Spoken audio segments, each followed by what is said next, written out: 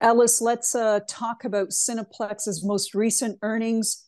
Best July ever is what I've heard you say.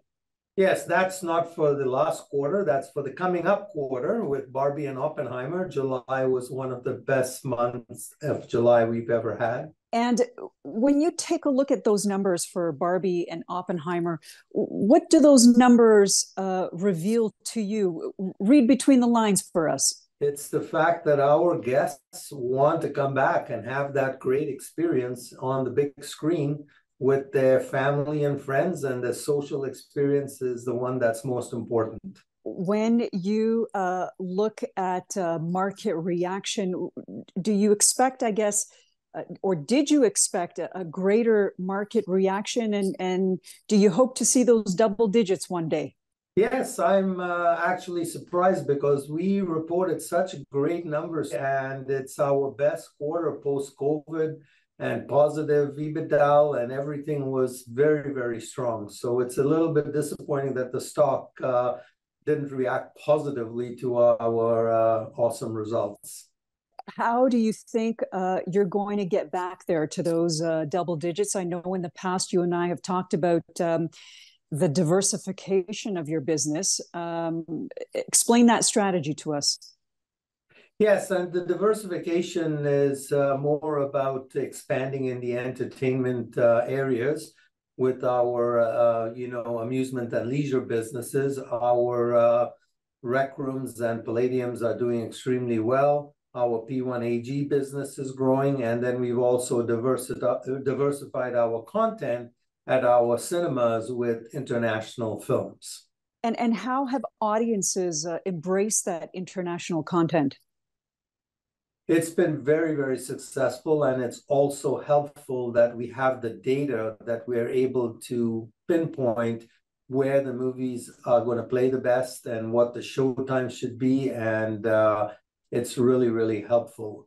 And when I talk about it, I look at a Bollywood movie, for example. In the old days, we'd have 20 or 25 theaters. Now we have to 60 or 65 theaters, and they are doing extremely well for us. I would assume that's a, uh, a huge help uh, that you don't have to rely on Hollywood so much, um, especially given the uh, the current uh, strike landscape. Uh, how concerned are you about the strike affecting your business? I don't think the strike is going to hurt our business as much as it's going to hurt the ones uh, for our peers because we've got all of that diversification and uh, I think uh, common sense is going to prevail and the strikes will get resolved in a short period of time. Let's uh, talk about the uh, other components that help to, uh, I guess, uh, spur on that consumer appetite. We know that the Toronto International Film Festival is coming up, and that often features Oscar worthy movies. is that on your radar?